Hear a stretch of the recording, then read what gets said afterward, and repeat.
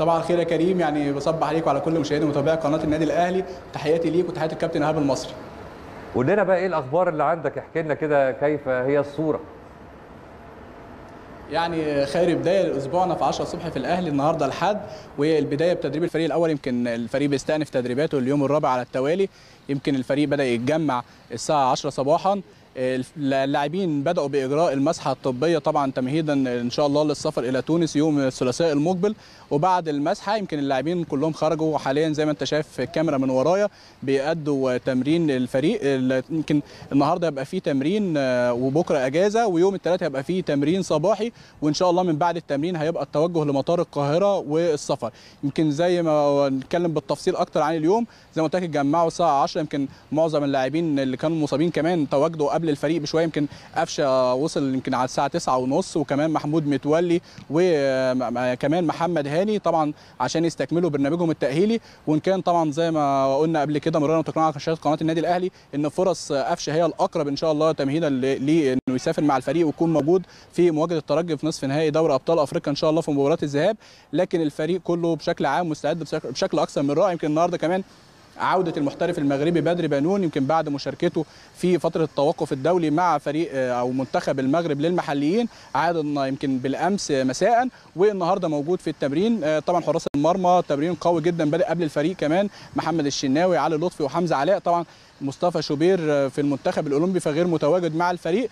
يمكن أجواء أكثر من رائعة كمان بننتظر وصول خلال دقائق كابتن محمود الخطيب رئيس النادي الأهلي ورئيس البعثه إن شاء الله المتجهه إلى تونس علشان يجري المسحة الطبية تمهيدا للسفر وكمان علشان يكون متواجد مع الفريق خطوة بخطوة كعادتنا بيه وعهدنا بيه في الفترات الصعبة. دايما بيكون كابتن محمود الخطيب حريص على إنه يكون موجود مع الفريق ويأزرهم ويكون رئيس البعثة. يمكن ده بي يعني زي ما بنقول بيدي دافع وبيدي حماس أكثر للاعبين.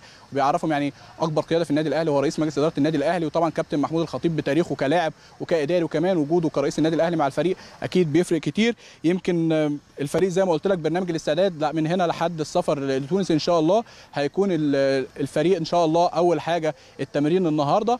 بكرة إن شاء الله أجازة لكل اللاعبين. يوم الثلاث إن شاء الله الفريق هيتجمع الساعة 9 الصبح والتمرين هيبقى 10 ومن بعد التمرين هيبقى التوجه الساعة 1 ظهرا لمطار القاهرة تمهيدا للسفر إلى تونس. يمكن خليني أكلمك بقى على معظم اللاعبين اللي مش موجودين في التمرين النهارده. علي معلول أليو ديانج والتر بواليا هينضموا للبعثة الثلاثه في تونس إن بالفعل هم كانوا موجودين في تونس مع منتخباتهم فترة التوقف الدولي فهينضموا إن شاء الله بداية من يوم الثلاثاء لبقية البعثة إن شاء الله في تونس ويكونوا إن شاء الله موجودين في أول تمرين والفريق اتمرن بشكل تام. يمكن لاعيبه المنتخب الأولمبي مصطفى شوبير أحمد رمضان بيكهام أكرم توفيق صلاح محسن ناصر ماهر وطاهر محمد طاهر هينضموا للتدريب الأخير قبل السفر يوم الثلاثاء إن شاء الله هيكونوا موجودين مع الفريق وهيتمرنوا معاه بشكل طبيعي ومن ثم إن شاء الله السفر والتحرك لمطار القاهرة تمهيدا للسفر لتونس.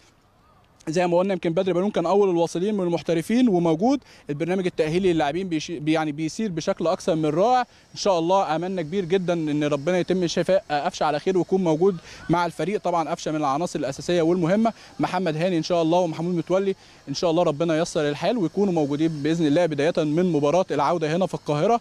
وإن شاء الله الفريق يكون جاهز وكل التشكيل متاح أمام مستر بيتسو موسيماني عشان يختار ال 11 لاعبين إن شاء الله اللي يبدأ بيهم المباراة وإن شاء الله يكون النادي الأهلي أي 11 لاعب في الملعب ربنا يكتب لهم التوفيق ويكتب لهم الفوز إن شاء الله. يعني استكمالا لحديثك ومع كابتن إيهاب المصري في الاستوديو مباراة كبيرة طبعا لكن النادي الأهلي اعتاد دايما على الفوز في تونس وكمان خاصة أمام الترجي. يمكن النادي الأهلي طبعا نتائجه وتاريخه معروف أمام الفرق التونسية وإن شاء الله املنا في النادي الأهلي كبير وإن شاء الله يعني تكون خطوة قريبة جدا وتقربنا من البطولة العشره واللقب الغالي على كل قلوب على كل قلوب جماهير النادي الأهلي في كل مكان.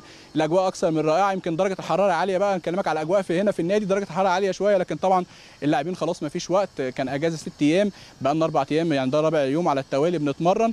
الاستعداد بيسير على قدم وساق. يمكن الأجواء في النادي كلها بشكل عام أكثر من رائعة. الملعب تم تجهيزه بشكل أكثر من رائع عشان يحتضن تدريب النادي الأهلي النهارده.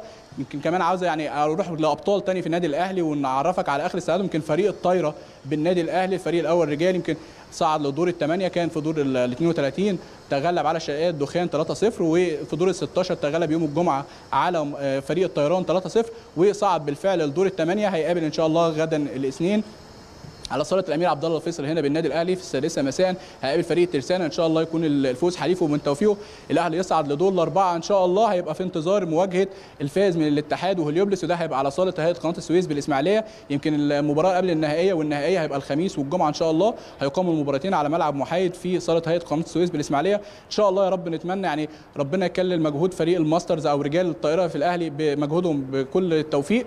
يمكن الفريق عمل البطولة المحلية الدوري فاز بيها ويكملهم بالثنائية ويبقى يعني اللقب للموسم الثاني على التوالي بيحقق الثنائية. يمكن فريق الانسات سبقه واخذ الدوري واخذ الكاس وده عهدنا دايما بفريق الطايرة في النادي الأهلي. يمكن كمان يعني انتصارات الطايرة مستمرة على طول. فريق 15 سنة كمان اتغلب بالأمس على هوليليدو في بطولة الجمهورية تحت 15 سنة. أعتقد كلها إنجازات وكلها فعل خير إن شاء الله إن فريق القدم يعني زي ما بنقول اللعبة الشعبية الأولى في مصر وفي العالم كله إن شاء الله يحقق كل طموحات جماهير النادي الأهلي ويكونوا عند الموعد ويكونوا عند ثقة كل جماهير النادي الأهلي فيهم.